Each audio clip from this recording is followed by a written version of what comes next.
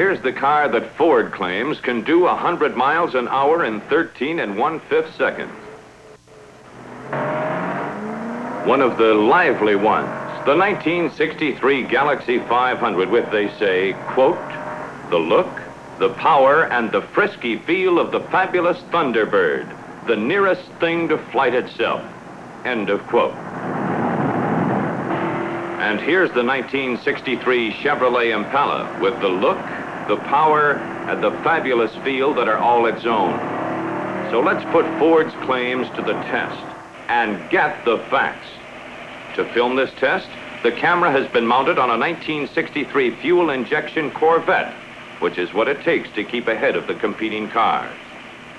Both the Impala and Galaxie have factory offered performance engines, transmissions, and axles. Both cars are powerhouses, the top performing packages in their respective lines. Both engines have been exactingly tuned.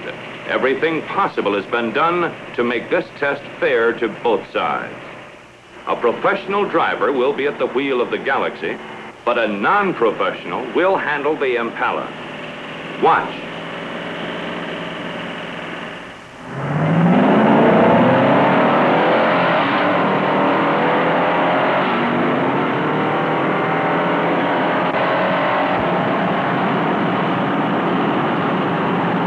That lively one, outpaced by the Impala.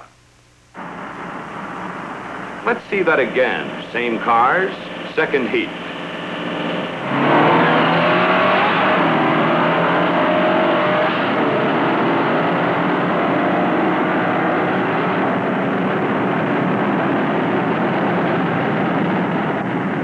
And again, Impala by a length.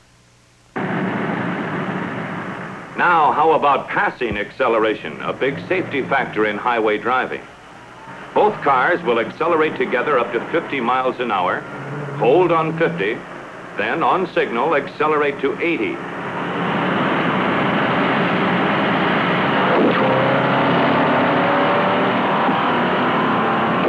Once again, Impala out front.